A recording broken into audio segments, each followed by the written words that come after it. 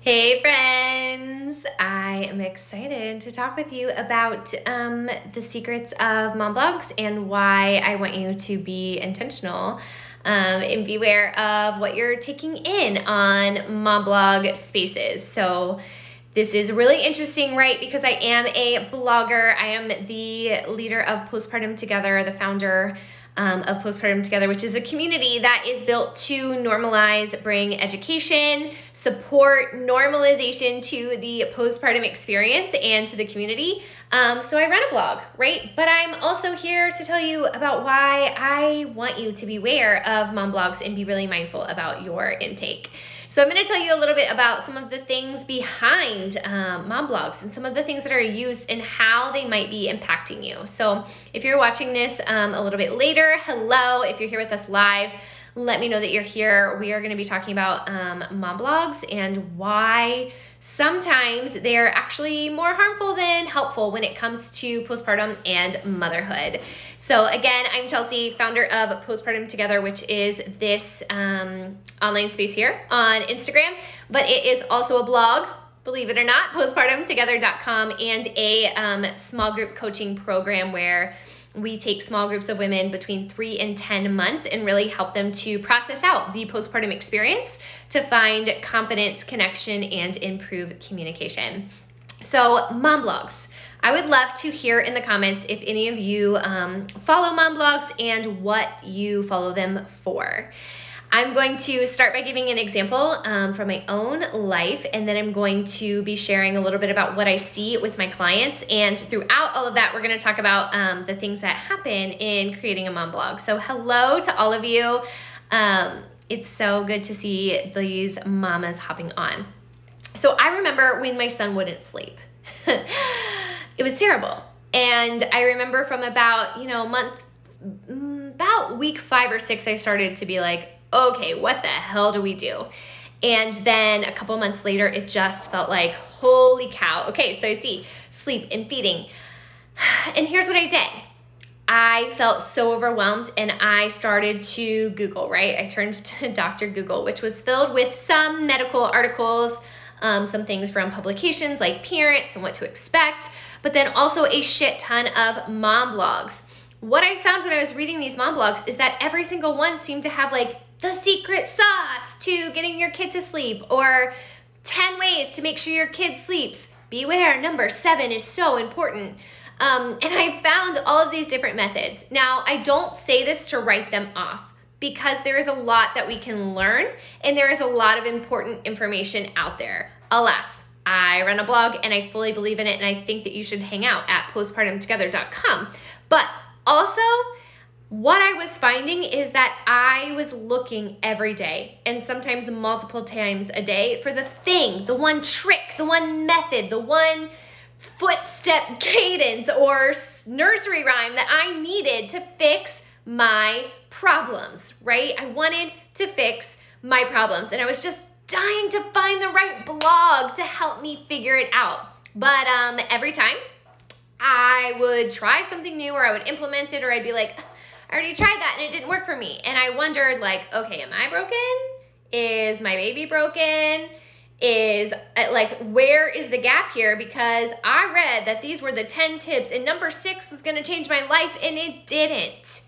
And I found myself doing these same things with like baby led weaning. How much should my kid be, you know, taking in? And again, if you're just joining, I'm saying there is a lot of good information out there. There is a lot to take in and a lot to learn.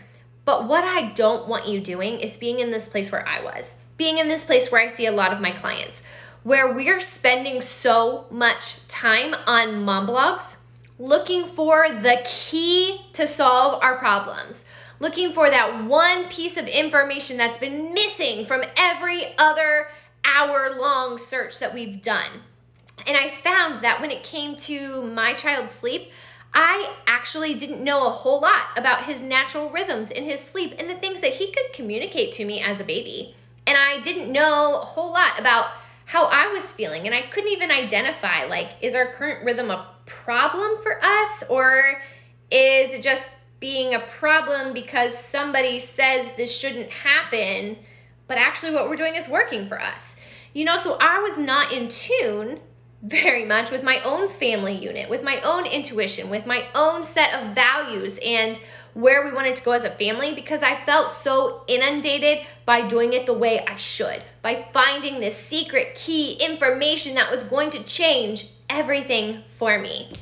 And so I also see this with my clients, right? They're feeling like there's so much out there, and you open up Pinterest or, um, you know, sometimes even here on Instagram, Facebook, wherever we are, you're gonna see clickbait and let's talk about why that is. Okay, so when you have a blog, and again, I have a blog, so I'm, you know, very honest about they can be good. But um, when you have a blog, your goal is to get page views. And to get page views, you need clicks. And to get clicks, you need something really catchy that emotionally impacts your person who is watching or who is searching. So if I say to you, how I lost all the baby weight in six weeks, you can do it too. Or, you know, like the six secret tips to blah, blah, blah. You're gonna wanna go there because emotionally you're looking for the answer. You want this to be solved. And so blogs are written not necessarily in order. Um, they're not gonna show up to you in order of, hi, cat of professionalism or um, research or backing, they're going to come to you in order of these key clickbait terms and SEO. So we don't need to get into all that. But we say this to say, I don't want you in this space where you're spending all this time worrying about these clickbait things that are made. Oh my God, I have like a cat ass in my face that are made is that not like the metaphor of life right now? 2020. I have a cat ass in my face, okay? Quote that one. Um, but I don't want you to be in this place where you are feeling so consumed with all the tips, with all the ideas, with all the things that you must do that you're not actually having time to know and trust yourself as a mom. One of the most common problems I see, not problems, struggles, one of the most common struggles I see with my clients is lacking confidence in motherhood. Hello, is that not so relatable? And not only are we, you know, dealing with this in ourselves, like you're doing something completely new, but now you have all of these avenues. You have social media, you have blogs, you have media outlets, like all these things telling you how good you should be as a mom and how it should be looking and how it should be feeling. And I'm afraid we're finding that moms are less in touch with what's working for them or what their actual values are because of all this temptation to look into the catchphrases in the clickbait. So, mama, do yourself a favor. Take a step away when you need to. Take a step away from all the information and take some time with yourself. Ask yourself, is this not working because it's not working for our family? Or do I want to change this because it seems like it's what I should do or what um, these different spaces are telling me to do? When you're looking for information, you know, ask yourself, is this in line with my values? And just because it says it's the way doesn't mean it actually is, right? Clickbait is real. I'm not saying it's bad. I understand driving traffic to a blog is so valuable. But I also, as a mom, and as a coach of postpartum women, want to remind you and encourage you that you don't have to do it all and that there's literally no secret sauce to motherhood. Ah! There's no secret way to get your baby to eat what you want or to sleep how you want or, you know, like if someone says they have the secret that you've been missing, they're full of shit. Go on, Believe in yourself, moms. I believe in you. I'm here for you. And uh, I want you to keep kicking ass because that comes from the inside and because you're capable of doing it and not because you followed this, you know, 12 step program from a uh, blogger who made shit up and put it out of their ass and had really good SEO. Yeah, so I'm gonna check in with these comments before I go. Cat hair everywhere. All of this stuff is crazy.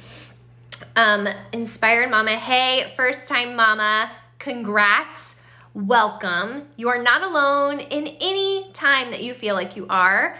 Um, and this shit is hard, but there are also so many supports and understanding is valuable. Um, dealing with confidence, right? So I hope that what I shared touched on this. Like, we struggle with confidence when we're constantly comparing ourselves, and this can happen on social media.